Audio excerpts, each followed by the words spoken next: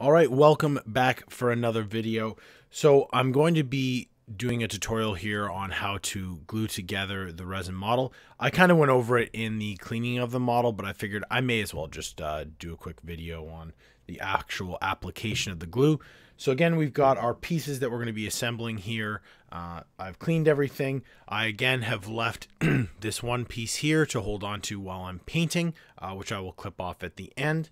Uh, but the arms are going to go onto the model right now. So I've got my Gorilla Super Glue. I'm going to take this arm first.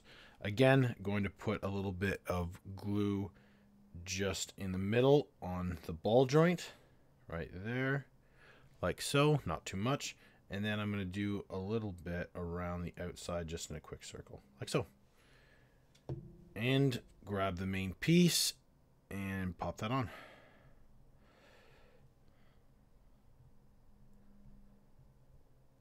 So once you've got it in position, again, I'm pressing in like pretty firmly.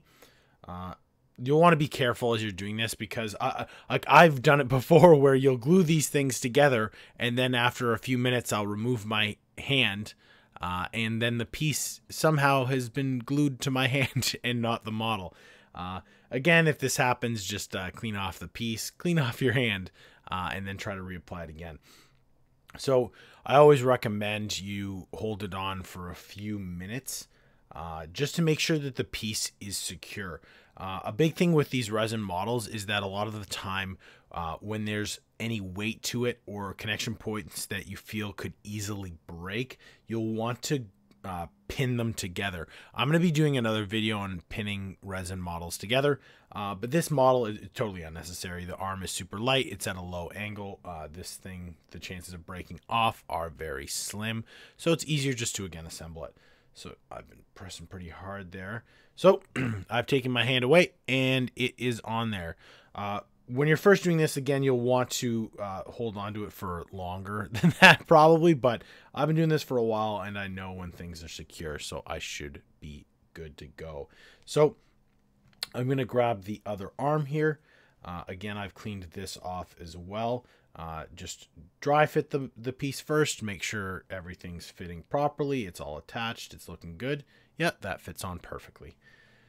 So we're going to do the same thing we're going to grab this piece, put some glue on the ball joint right in the middle, uh, and then put glue just around the outside of the arm right there.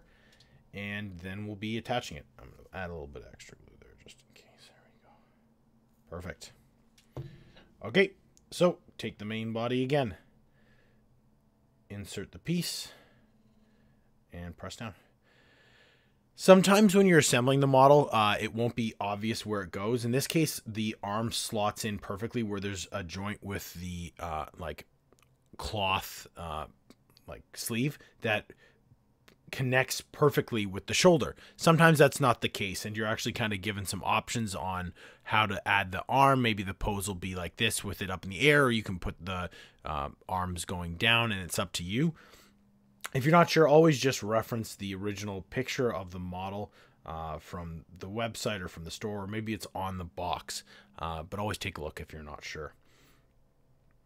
So again, we're just pressing firmly, holding this together. You can see the other arm is on and is staying on, which is great.